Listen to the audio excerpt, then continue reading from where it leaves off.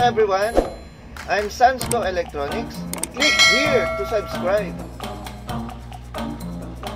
Hello guys, meron tayong bisita, Epson L120. Problem, alternate blinking, green and red LED indicator. Ito yan, power on muna natin. Yan, nag uh, red and green blinking siya. Or yung green and red, alternate siya nag-blink. Ito yung model L120 Epson.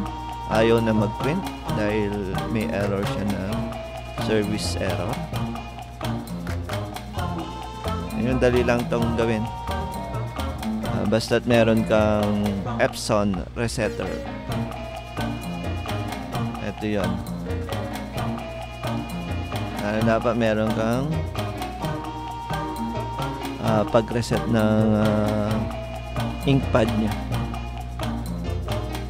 Okay, uh, i-link ko na lang sa description tong resetter na to uh, para may kopya kayo. And i-assign nyo lang kung anong USB. Ang gawin ko lang dito is auto selection. Then, i-click natin yung waste ink pad counter. Okay. Uh, dito natin. Uh, click lang natin yung waste ink pad counter. Then okay. Then uh, check lang natin yung main pad or uh, ayan, check lang natin. Then initialize para ma-reset natin itong 6,207 into 0 ay na, na, nasa maximum na kasi siya. Then initialize then okay. Once na na-initialize yan mag-reset ng 0 then turn off. Then reboot mo ulit. Mawawala na yung blinking. Yun. Na na yung blinking okay na yung printer natin.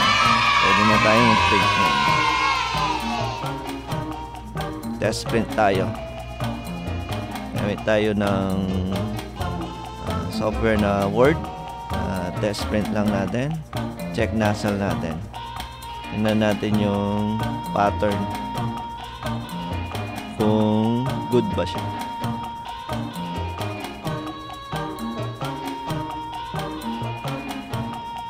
Yan, na-print siya. Tingnan natin.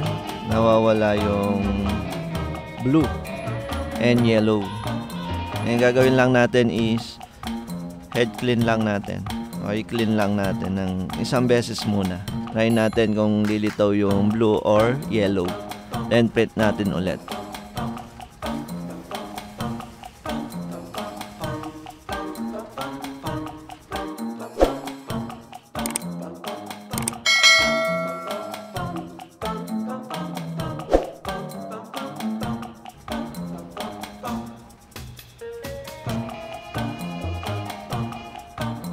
Clean lang natin mga kasans ko. I-click lang natin yung clean. Hintayin natin. Start natin. Hintayin natin matapos yung cleaning. Then, print natin ulit nun. Kung lilitaw na yung mga kulay blue at saka yung yellow. Ay, balikan ko kayo. Wait natin matapos tong niya. Bago matapos itong cleaning natin, promote ko muna yung channel natin. Yung mga napadaan, uh, nanonood ng video na to. Don't forget to like, share, and subscribe kung may natutunan kayo dito sa ginagawa nating video. Maraming salamat mga kasans.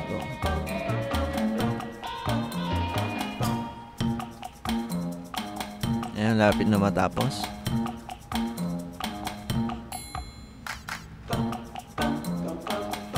Ayan, try natin ulit i-print yung pattern.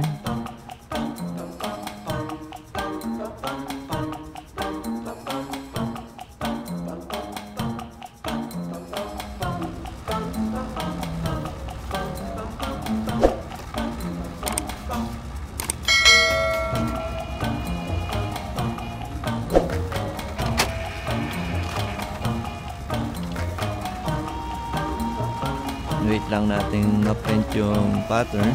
Check natin kung may lumitaw na blue or yellow. Ay, kita dun sa pattern, lumitaw na yung blue. Kung hindi pa lumitaw yung yellow, pwede natin i-clean ulit. Or gawin natin kung ayaw pa rin, ah, gumamit tayo ng yung power ink flash natin. Medyo ano to, ah, mandaming ink na nag, ah, uubusin. Magpa-power ink flashing tayo. Yan, i-okay mo lang yan para ma-power ink flash. Ay lumitaw naman yung yellow. Hindi pa lumitaw yung yellow, meaning barado na yung nozzle ng printer. Hanggang dito na lang mga kasans go. Sana may natutunan kayo. Don't forget to like, share, and subscribe. Mga kasans thank you so much. Bye-bye.